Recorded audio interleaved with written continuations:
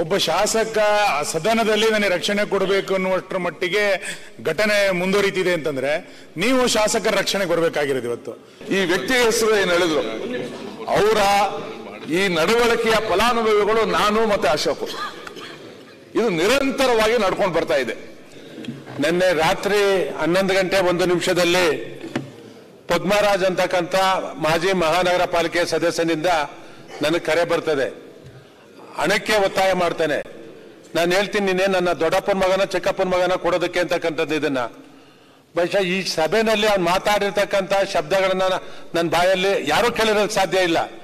ಅತ್ಯಂತ ಕೆಟ್ಟದ ಪದಗಳಿಂದ ಅವ್ಯಾಚ್ಯ ಶಬ್ದಗಳಿಂದ ನನ್ನ ಕುಟುಂಬವನ್ನ ನಿನ್ಸಿ ನಿನ್ನ ಮನೆ ಹತ್ರ ಕಲಿಸಿ, ನಿಮ್ಮ ಮನೆಗೆ ಲೂಟಿ ಮಾಡಿಸ್ತೀನಿ, ಬೆದರಿಕೆ ಆಗ್ತೇನೆ ನನಗೆ ಕೊಲೆ, ನನಗೆ ನನ್ನ ಕುಟುಂಬಕ್ಕೆ ಬೆಲೆ ಬೆದ, ಕೊಲೆ ಬೆದರಿಕೆ ಆಗ್ತೇನೆ ಬಹುಶಃ ನನ್ನ ತಿಳಿದಾಗೆ ನಾನು ಒಬ್ಬನಿಗೆಲ್ಲ ಹಾಕಿರ್ತಕ್ಕಂಥದ್ದು ಅವನು ಅವನು ರಾತ್ರಿ ಇವತ್ತಾಯ್ತು ಅಂತಂದ್ರೆ ಕುಡ್ದು ಮದ ಏರಿದಾಗ ಅನೇಕ ಜನ ಮಾಜಿ ಸಚಿವರಿಗೆ, ಶಾಸಕರಿಗೆ ಆಗಿರ್ತಕ್ಕಂಥದ್ದು ನನ್ನ ಗಮನಕ್ಕೆ ಬಂದಿದೆ.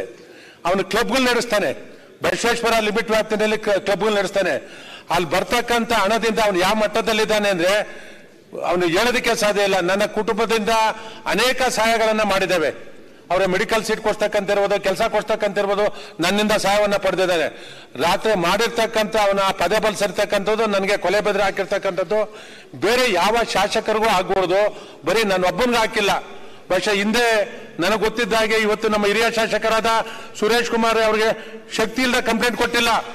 ಅನೇಕ ಬಾರಿ ಅವರಿಗಿಂತ ಬೆದರಿಕೆ ಹಾಕಿದ್ದಾನೆ. ಅವನ ಮೇಲೆ ಸೂಕ್ತವಾದ ಕ್ರಮವನ್ನು ಬಯಸಬೇಕು. ಅವನ್ನ ಗಡಿಪಾರು ಮಾಡಬೇಕು ಅಂತಕ್ಕಂಥ ನಾನು ಒತ್ತಾಯನ ಪಡ್ತಾನೆ.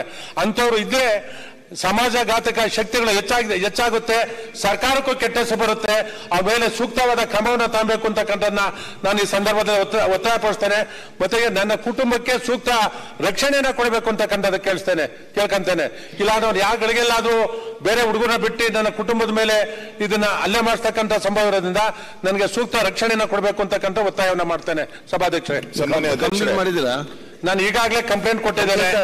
ರಾತ್ರಿ ಹನ್ನೊಂದು ಗಂಟೆಯಿಂದ ಬೆಳಿಗ್ಗೆ ಒಂಬತ್ತುವರೆವರೆಗೂ ಅವನು ಮನೆ ಒಳಗೆ ಇದ್ಕೊಂಡು ನಾನು ಆಚೆ ಬರೋದಿಲ್ಲ ಅಂತ ಪೊಲೀಸ್ ಅಧಿಕಾರಿಗಳು ಸ್ಪಂದಿಸಿದ್ರು. ಡಿ ಸಿ ಪಿ ಅವರು ಮಾಡಿದೆ ಎ ಸಿ ಪಿ ಅವರು ಮಾಡಿದೆ ಸರ್ಕಲ್ ಇನ್ಸ್ಪೆಕ್ಟರ್ ಮಾಡಿದೆ ಕಂಪ್ಲೇಂಟ್ ತಗೊಂಡ್ರು ನನ್ನಿಂದ. ಅವ್ರ ಮನೆ ಹತ್ರ ಹೋಗಿ ಅಲ್ಲಿ ನಾಯಿಗಳು ಕಾಯ್ದಂಗೆ ಕಾಯ್ದಿದ್ದಾರೆ ಪೊಲೀಸ್ ಅಧಿಕಾರಿಗಳು. ಮನೆ ಒಳಗಡೆ ರೀಚಿಗೆ ಬರೋದಿಲ್ಲ. ನೀವೇನ್ ಮಾಡ್ಕೊಂತೀರ ಮಾಡ್ಕೊಳ್ಳಿ ಅಂತಕ್ಕಂಥದ್ದ ದಿಮಾಕಿಂದ ಮಾತಾಡಿ ಹತ್ತು ಗಂಟೆಗೆ ಆ ಮನೆಯಿಂದ ಈಚೆ ಬಂದು ಅವನು ಕುಡ್ದು ನೆಶೆ ಎಲ್ಲ ಇಳಿದಾದ್ಮೇಲೆ ಆಮೇಲೆ ಬ್ರಷ್ ಮಾಡ್ಕೊಂಡು ಆಮೇಲೆ ಹೊರಗಡೆ ಹೋಗಿರ್ತಕ್ಕಂಥದ್ದು. ಮನೆ ಒಳಗಡೆ ಇದ್ದು ಆಚೆ ಬರೋದಿಲ್ಲ. ಸುಮಾರು ಹತ್ತಿಂದ ಹನ್ನೆರಡು ಗಂಟೆ ಪೊಲೀಸ್ ಅಧಿಕಾರಿಗಳು ಕಾಯ್ದಿದ್ದಾರೆ ಆಚೆಗಡೆ. ಇಂಥವ್ನು ಈ ಸಮಾಜಕ್ಕೆ ಬೇಕಾ? ಅವನ ಮೇಲೆ ಸೂಕ್ತವಾದ ಕ್ರಮ ವಹಿಸಬೇಕು. ಒಂದಷ್ಟು ದಿನ ಒಂದು ಆರು ತಿಂಗಳು ಗಡಿಪಾರು ಮಾಡಬೇಕು ಅಂತಕ್ಕಂಥ ಒತ್ತಾಯವನ್ನ ಮಾಡ್ತಾನೆ.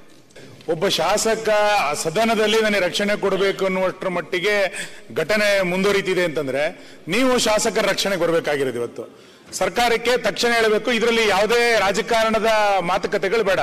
ಒಬ್ಬ ಶಾಸಕ ಸದನದಲ್ಲಿ ನನ್ನ ಕುಟುಂಬಕ್ಕೆ ರಕ್ಷಣೆ ಕೊಡಬೇಕು ಅಂತಂದ್ರೆ ಯಾರಿಗೆ ಯಾರು ರಕ್ಷಣೆ ಯಾರಿಗೆ ಯಾರು ಹೊಣೆ ಸರ್? ನನ್ನ ಪೊಲೀಸ್ ಕಂಪ್ಲೇಂಟ್ ಕೊಟ್ಟ ನಂತರ ಅವನು ಅರೆಸ್ಟ್ ಮಾಡಕ್ಕೆ ಸರ್ಕಾರ ತಯಾರಿಲ್ಲ ಅಂತಂದ್ರೆ ಏನ್ ಪ್ರಶ್ನೆ ಇದು? ನೋಡಿ, ಎಲ್ಲಿ- ನೀವು ದಯಮಾಡಿ ಅಲ್ಲ ನೀವು ಸರ್ ಇದನ್ನ ಸರ್ಕಾರ ಯಾರು ಮಾಡ್ಕೋಬೇಡಿ. ಯಾರು ತಕ್ಷಣ ಗಮನ ಕೊಡಬೇಕು. ರಕ್ಷಣೆ ಇಲ್ಲಾಂದ್ರೆ ಹೆಂಗಾಗುತ್ತೆ? ಈ ವ್ಯಕ್ತಿ ಹೆಸರು ಏನ್ ಹೇಳಿದ್ರು?